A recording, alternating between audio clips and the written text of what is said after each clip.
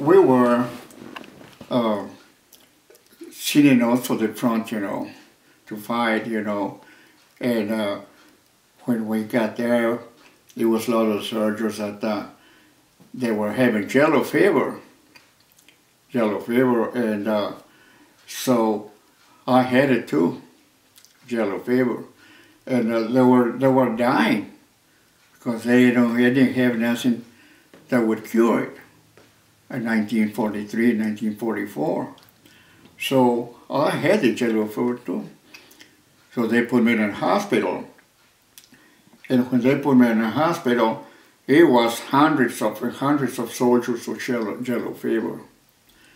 So I wasn't too bad. I had fever, but I was just starting when they put me in the hospital.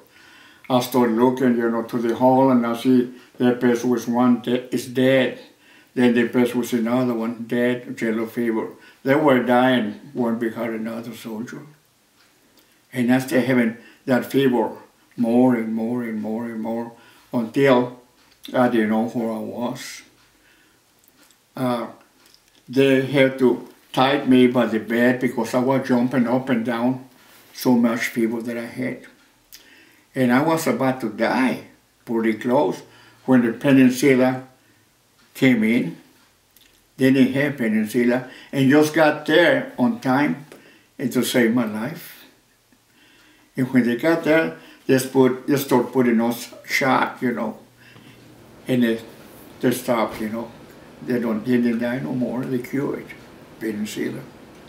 And the penicillin, uh, they, they discovered that, but they didn't have it. And it got there in time because I was very sick already. And mm. they started putting shots for everybody. Next day, we were talking. The fever was gone. Well, that's good. yeah. So that's good.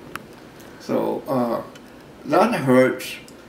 You know, when you have yellow fever like that, you know, those years, uh, the yellow fever, you you get well, yes, but you, you don't feel good after you have yellow fever.